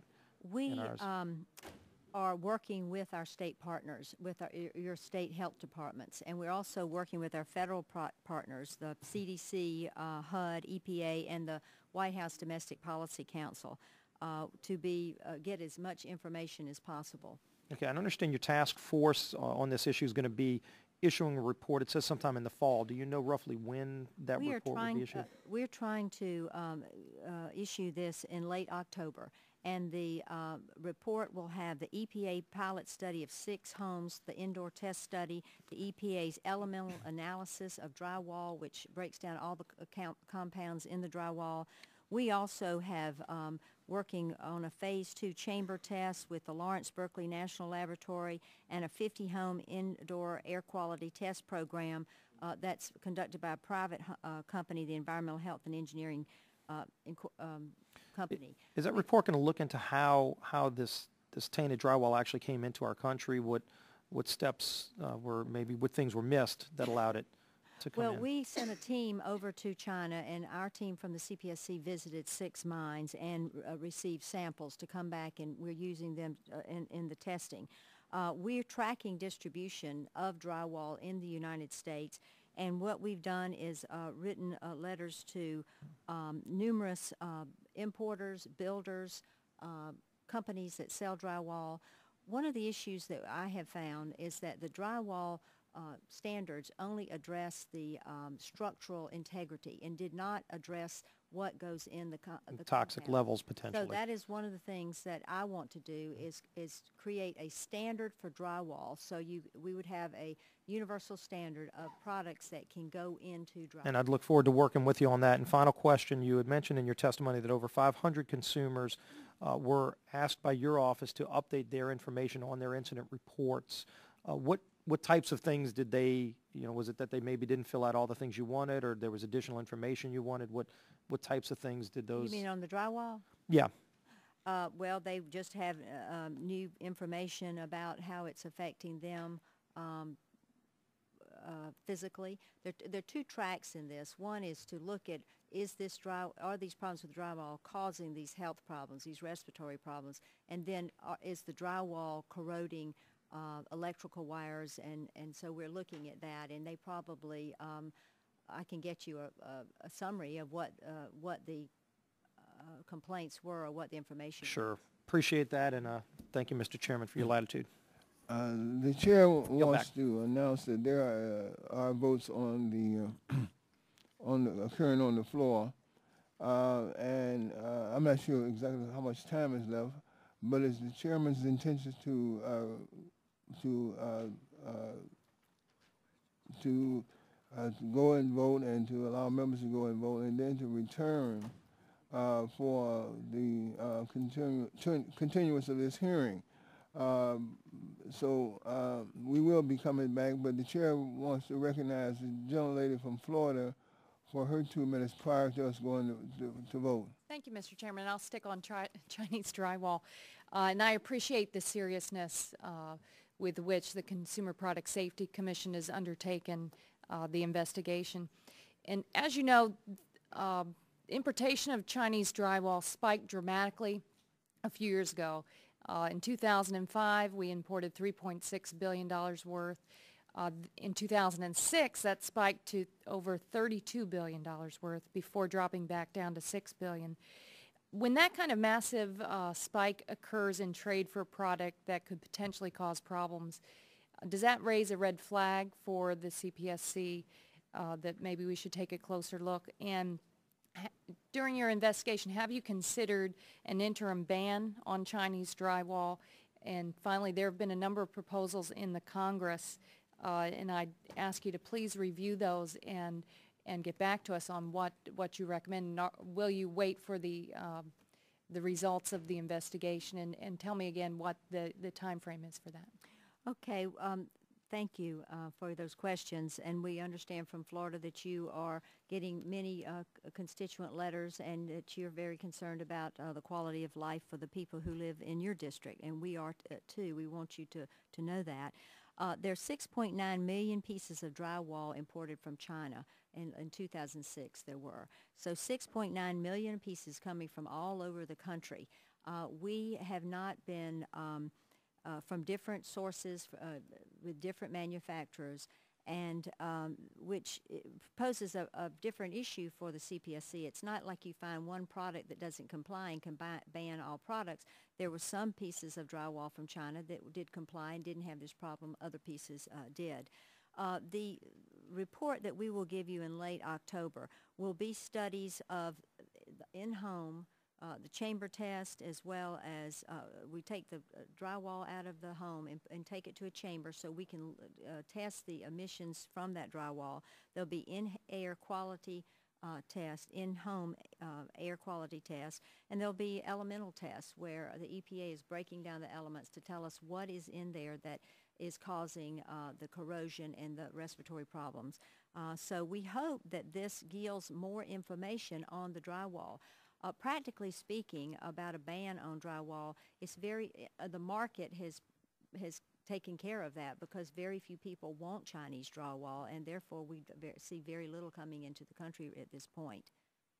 And so uh, that is where, but the overwhelming amount of drywall had been coming from China, and uh, now we're we get notification from the ports if if we if drywall is sent to the port, but very little is coming in at this time. We have met with our counterpart, the Chinese uh, uh, counterpart AQSIQ. China has sent uh, experts in to um, uh, to visit homes. They sent two of their uh, drywall experts to look to go into these homes that were contaminated. As I said, we sent a team to China. Uh, Senator Bill Nelson from Florida went and met with the AQSIQ several weeks ago. He uh, told th- them that uh, President Obama was going to, uh, he hoped, mention that when he met with um, President Hu in uh, China. And so we, it's, it's, we are send, uh, really putting a, the great deal of our resources and attention on this, probably more than any other issue we're working on at this time, is focusing on drywall so that we can find an answer to it. And so, uh, and after we find an answer, go on into rulemaking so that we can not have this situation uh, happen again. Uh, The committee uh, stands in recess, uh, and uh, there are approximately four votes on the floor, which are the final votes for the week. But we will reconvene uh, 15 minutes after the last vote. Uh, And uh, the chair really wants to thank uh, uh, Chair- Chairman Tenenbaum for her Thank you. contributions to this time. Thank you. So Uh, The committee will again come to order. Um, I- I I w- I want to again repeat uh, my uh, gratitude to you, Madam Chair, Chair Lady, uh, for your graciousness and for the uh, uh, the time that you are spending with us uh, this afternoon. Uh, I don't see any other members here, so I'm going to recognize myself for one additional question. And uh, I think the ranking member have a, uh, one additional question, and then we'll, if we, if no other members, then we'll just adjourn and uh, be on our way. Every year, for many years, we have seen numerous bills that uh, address specific product safety issues. These bills have continued to be introduced even after the passage of last year's product safety re- reform. Just this year, there are bills in Congress to prevent stoves from tipping over onto children, to stop, stop the sale of dangerous toys, cigarette light, lighters, and even to address additional national health threats, such as uh, the uh, beforehand reported upon Chinese drywall. You know, the question is, why are we seeing these bills? What is the, why is the commission not addressing these issues as they arise under its own authority and on its own initiative? And second question is, do you agree that the consistent introduction of these bills is evidence that the commission is, is not fully and properly carrying out its mission?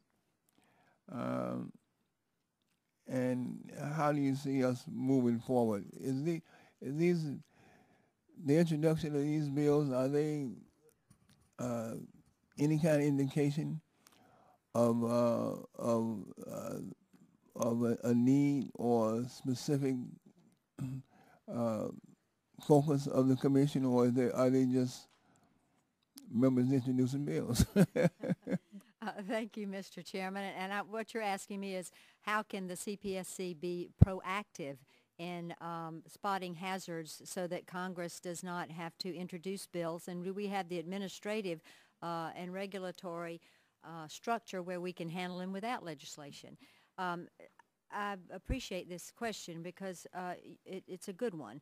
Uh, first of all, as I have looked back in the history of the CPSC, the, the uh, leadership makes a tremendous difference because you know this uh, this uh, commission relies on voluntary standards, and it's a question of when you see a voluntary standard not working to protect the health and safety of individuals, whether you move right in and go ahead and promulgate a mandatory rule.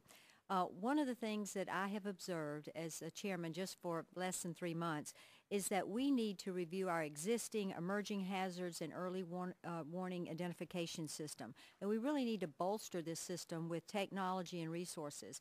And our new technology database will give us more information than ever before so that uh, we can uh, spot these issues earlier. Uh, we need to initiate more investigations and increase our investigations, uh, be much more uh, proactive about them. Uh, there are also individ- uh, scientific research organizations where if we had the resources, we could engage them or even they could use private resources to do analysis and testing if we ask them to. Uh, we have a deference toward voluntary standards. Uh, in fact, the law was passed in 1981 requiring deference to voluntary standards unless they are proved ineffective in addressing the hazards. I've already noticed uh, uh, in, in my short tenure that uh, there's one uh, particular product that I have seen that uh, there are no standards for, yet we've already determined 60 people have been killed on this, by this product, and we're going ahead and announcing, uh, um, announced uh, for um, notice of uh, rule, proposed rulemaking, ANPR, so that we will begin working on a standard and not just uh, wait until the industry comes up with a voluntary standard. So all of these um, are ways that the CPSC will be more proactive. And we also want to ha- harness the new media opportunities that we have. Our new brand is CPSC 2.0 with the blog, the Facebook, the uh, YouTube, Twitter, our recall widget, so consumers have up-to-date information. Uh, it's really uh, going to be interesting with the new uh. We have the tracking labels, which uh, we went back to the statute and wrote a tracking label guidance, but industry is looking at a futuristic tracking label. label. So you could look at this barcode that would be universal throughout the world and pull it up on your, uh, say, your BlackBerry or, or, or iPhone and find out everything about this uh, product. Uh, right there in the store or you know when you uh, by looking at the barcode and so very few people are using it it's it's very futuristic but that's the kind of technology that will enable us to be more proactive The chair recognizes the ranking member, Mr. Radanovich. Thank you, uh, Mr. Mr. Chairman. I appreciate that. And um, uh, Madam Chair, I want to know what the purpose of a um, uh, testing and certification stay of enforcement is and what happens when the stay expires in February? Do you think that the Commission will be ready to implement and enforce the laws as written? Um, Thank you, um, Ranking Member Radanovich. And um, first of all, the, uh, we call that the 15-month rule. And that, we were required by statute to have that month, which will, uh, that um, will be what is a reasonable testing, and it will have the component part testing in, uh, in that rule. And it's due to be promulgated in November. And so under the statute, we will uh, be working, um, trying to get that out because I guess what I wanted to say here this morning and what we prepared to try to leave uh, in your minds is that we are working hard to implement the CPS, CPSA. We're finding out that with every rule that we put out, like the uh, lead determinations, uh, which probably would have exempted the blouse that you showed us from any testing, uh, the component testing, which will exempt so many products from the manufacturing having to retest again on, on items. All of these are helping us resolve a lot of these questions and to untie a lot of these knots. And so um, we will uh, be having that rule uh, shortly, and I think that it will help tremendously uh, with a lot of the complaints that you're receiving from industry. Do you think that you'll be able to implement and enforce the laws written by then in, in February? Well, um, we think that uh, after the stay of enforcement expires, we will have all the rules in place. And the stay was necessary, uh, the, the leadership at the commission felt at that time, because there was so much rulemaking to do. We had not even approved all the third-party laboratories. The law says that manufacturers and private labelers have to have their children's products tested by a third-party laboratory. Right, right. And we had to approve all these laboratories, and, and so to date, we've approved 190 laboratories in 27 countries. So now industry has a place to go to get their products tested. So we think that uh, when the stay expires, that we'll have these uh, rules in place and that we c- uh, will be able to untie a lot of these problems that industry has. That's why I said it was Do- do you- that today for. Forgive me, though, I- I'm sorry, I just don't have enough I know, I'm time here. and- your time. Uh, uh, But, but do you think that, uh, will you be able to grant exemptions under CPSIA during, uh, uh, after that stay? Or do you think that you'll have to, to uh, post another stay? Do you think, We are hoping that we won't have to post another stay. If you do, isn't, won't that be evidence of the need for statutory, statutory change in CPSIA in order for you to get all this done and be able to grant exemptions? Well, it, uh, we believe that if we in good faith implement all the regulations that uh, CPSIA requires, that most of these issues can be resolved administratively. All right, thank you. Thank you, Either through Chairman. not, the product not containing lead, or not being a product that will ever contain lead, like cotton or paper or certain kind of inks used in printing. Thank you, Mr. Chairman. Uh, Madam Chairman, uh, we certainly appreciate, again, you, your time.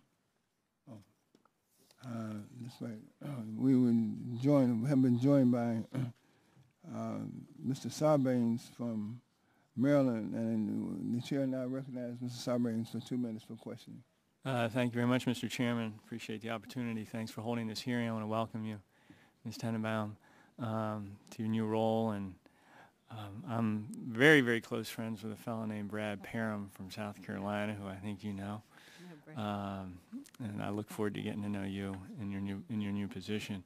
Um, I just wanted to uh, pass along a concern. um, I have a number of uh, bulk vendors in, there's a number of bulk vendors in, in Maryland, and, and you're, I think, aware of this provision under CPSIA Section 103A um, re- regarding the tracking of, of products, and um, I guess they've expressed concern about that, that being impractical um, with respect to some of these smaller items that are come packaged in bulk and then are distrib- distributed across the, the country to, to vending machines and so forth. And uh, to the to the commission's credit and to your credit and, and evidence of you moving quickly in the job to try to address these areas of concern, uh, on July 20th, um, there was a statement of policy issued uh, by your office that uh, for that certain category of products, 103, uh, by your interpretation, would not apply. Um, and they've just expressed some concern I wanted to relay and get your comment on about the fact that uh, that doesn't necessarily prevent uh, action at the state level um, by state attorney generals uh, acting with respect to the statute, um, nor does it necessarily mean that uh, future commission uh, couldn't reverse its position on that. And I just wanted to get your perspective on on how this statement of policy you see working going forward. Well, this is a good example of us using common sense to enforce the law as our definition of tracking labels. Uh, the law requires uh, manufacturers of children's products to have a tracking label uh, to the extent practical on each product and the packaging. And so we've looked at, we've told the industry it's not one size fits all, that uh, you must be able to ascertain, and by ascertain, uh, you, you have to look at your product to see can we find uh, the name, location, and, and date production, and can we find who manufactured it and track it down if it need to be recalled. Regarding, so uh, we uh, got great deal of praise from uh, a number of uh, industries because we used a common sense approach to the tracking label. Regarding the attorneys general, We have, have regular telephone conferences with them. I'll be speaking to the attorneys general. Uh, we want to uh, re- enrich our relationships with them because we see th- that the fact that this is such a small agency that we don't have the resources to enforce uh, all of the uh, consumer product safety laws without the assistance of our state partners, our local consumer product safety uh, commissions, the attorneys generals, and our local health departments. So uh, we don't have not found any cases where the attorneys generals have gotten out in front of enforcement uh, ahead of the CPSC. And we are encouraging them to let us get our rulemaking finished and work through a lot of these issues administratively. So we don't encourage them to bring uh, enforcement uh, injunctions because under the law, that's what the attorney generals can do. They they can seek injunctive relief. Uh, So I assume that your ongoing conversation, collaboration with them is, is to, is to uh, sort of cultivate this common sense approach at all levels. We are working with them, and uh, we certainly want everyone to have a common sense approach. We, we hope no one gets out in front of us before we get all the rules in place, which we hope will give relief to so many of these industries you're hearing from now. That is our goal, to protect the safety of children, to, to uh, pre, uh, keep intact the, the integrity of this statute, and to work out the best way we can these issues that you're hearing from, cons- uh, from uh, industry. Thank you. Uh, the chair now recognizes Mr. Stupak for two minutes for the purposes of questioning the witness. The chairman. Well, thank you, Mr. Chairman, and uh, I was down in another hearing in telecommunications, so that's why I was not here, but I'm very interested, and congratulations on your appointment. Look forward to working with you, especially in my role as Chairman of Oversight and Investigations. Uh, Let me ask you about uh, the uh, Consumer Product Safety Improvement Act 2008. Um, And in my northern Michigan district, uh, ATVs and motorcycles are a way of life for many of us and very important to our outdoor tourism and our economy. Um, in, in the Consumer Product Safety Improvement Act 2008 purposely included a provision to regulate youth ATVs and motorcycles. However, it was an unintended consequence of the CPSIA that the equipment is also subject to provisions regulating the amount of lead contained in motorcycle and ATV parts. On April 3, 2009, the CPSC voted to delay enforcement of a lead ban on youth ATV and motorcycles for one year. It was not the intent of Congress to regulate lead content in youth ATV or motorcycles. So my question would be, does the commission have reports of injury or death caused by lead poisoning stemming from the use of youth ATVs or motorcycles? Uh, We have over 900 deaths per year from ATVs, so the industry. Correct, but I mean from, has told me. from lead? No. I don't- Nothing from lead? I Okay. don't have any data on it. Okay, is the commission testing the youth ATV or motorcycles to determine possible exposure to lead? We have just met with the ATV industry. The leaders of the industry came over and met with me last week. And th- what they have reported to us is that they could make any lead that uh, would be uh, exposed to a rider inaccessible. They feel like they could make the handlebars inaccessible from lead by putting uh, covers on Sure. them and the handbrakes. And also the seat would not, uh, would not contain lead. So they have, uh, the stay helped them uh, come up with this. And so that would, uh, they're getting back with us to show us how they can do that.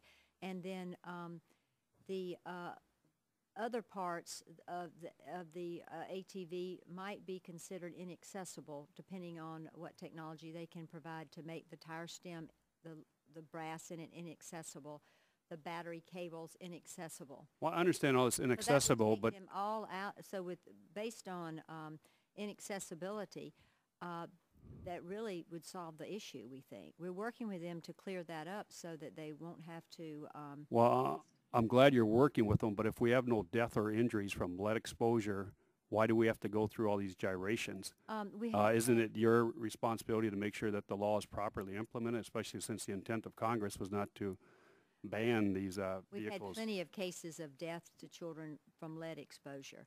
And hand-to-mouth, But from ATVs and motorcycles.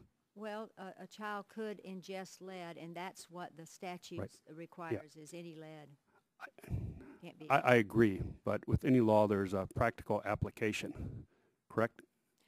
No question about it, and that's why the industry is coming back to us with practical solutions, and we think this will take care of any problem they have, and they won't have to be regulated. All right. Let me ask you about this one. This is a recent GAO report, August 2009, concluded that the CPSC's presence at U.S. ports is limited, and in order to identify potentially unsafe products like drugs, inferior steel from China, it must work closely with U.S. Customs and Border Patrol protection. The report also found that CPSC's activities at U.S. ports could be strengthened by better targeting incoming shipments for inspection and by improving CPSC coordination with the Customs and Border Patrol. Um, as chairman of oversight investigation, I've spent a lot of year on this, especially a lot of years on this, especially drugs coming in from other countries, uh, not properly marked, handled properly, and we know that FDA's efforts are lacking in placing American lives at risk. But this GAO report concluded that the FDA has more staff, has more surveillance technology, has more data on incoming shipments in our ports than CPSC, who also has the responsibility. So this was not a good news report by the GAO. So are you developing any plan to coordinate your port surveillance with other agencies to improve CPSC surveillance at our ports? We are, and I reviewed the uh, report and uh, agree with um, those findings, and we'll be getting back with Congress uh, in October with our formal response to the report. But starting October 1st, as a result of that report, CPSC will have access to the Customs Import Safety uh, center, which is called Commercial Targeting and Analysis Center. We will be able to place one full-time employee at that center to get information um, that we need in surveilling, uh, in surveying um, the um, imports coming into the country. Okay. Currently, Custom Border Patrol doesn't have any authority to deny shipments at a port, whether it's steel or whether it's drugs. That is, if a substandard shipment comes into the United States, um, they may flag it, but they can't block it entrance into the United States. What does CPSC intend to do to find a sub, when he finds a substandard or hazardous product at a port? Right now, we just stack them up in warehouses. Is- Do you have any other idea? Destroy them. We destroy the, um, the, the product. Uh, we have the authority to destroy it, and Customs has the authority to flag it. They stopped um, several uh, products from coming in recently. Um, so here is what, uh, if you look at our, uh, we have nine people and 300 ports, and we also have field staff, 100 field staff, uh, but we have nine people at the ports. Uh, we, uh, this is a, a bigger area than just what the GAO re, uh, uh, reports because the FDA uh, is, requ- you're required to send a manifest to the FDA Correct. 30 days ahead of time. We are only required to receive the um, third-party testing results 24 hours ahead of time under the CPSIA. So this would be something that we need to have information earlier. Uh, we need through this manifest, uh, this uh, commercial targeting analysis system. That those are the manifests, and we with uh, the proper technology, which we're submitting to Congress in our new technology plan, can look and and uh, and mine this data, so we'll know what's coming into the port. And then if we find products that don't conform under the statute, the manufacturer or importer is required to take those products and remove them from the United States. If they don't have the funds, and they have to post a bond, if they don't have the funds, we can destroy them. Uh, a lot of times we don't have the fun, uh, amount of funds it requi- requires to uh, destroy them, and we might uh, need to start increasing the bond to cover the cost uh, of destroying the product. But that's what we do with them. Okay. So this is new authority underneath the 2008 law then?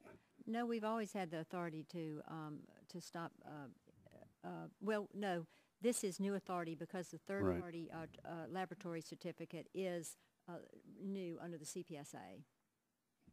Thank you, Mr. Chairman. Uh, that concludes uh, the questioning of the witness, uh, and uh, the chair want to uh, recognize Mr. uh, who has a unanimous consent request. Thank you, Mr. Chairman. I, I um, do have another unanimous consent request from one other member. However, I'd just like to make it a blanket unanimous uh, request consent that if um, other members wish to submit statements, they be allowed to do so. Right. Well, uh, the uh, for the record, the uh, record will remain open for two weeks, and members may submit uh, questions uh, to the witness or any other um, documentation that they want to present to the committee. They may, they have two weeks from the day, uh, today's date in order to uh, submit those questions. The record will remain open for two weeks. Thank Well, you. thank you so much, uh, Madam Chairman, and we look forward to working closely with you as we move uh, forward uh, protecting uh, America's children and families. So thank you so very much for your participation. Thank you. I. I appreciate the opportunity to meet with all of you, and I hope to, in the next few weeks, meet with uh, many of you individually. Thank you. For your personal questions. Thank you so very much. Uh, The committee uh, is now adjourned